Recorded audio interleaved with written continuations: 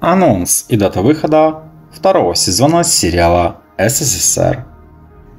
Наконец-то состоялась премьера сериала СССР, который по невидимым причинам провалялся на полках несколько лет.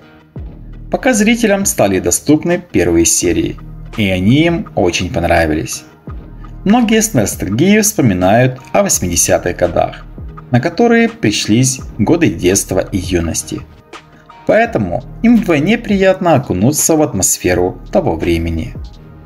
И теперь, после просмотра первого сезона, многих интересует, а будет ли продолжение.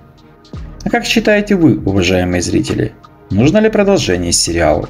Или первый сезон имел логическое завершение? Оставьте свой отзыв в комментариях. Меняется страна, рушатся идеалы, мировоззрение людей претерпевает изменения.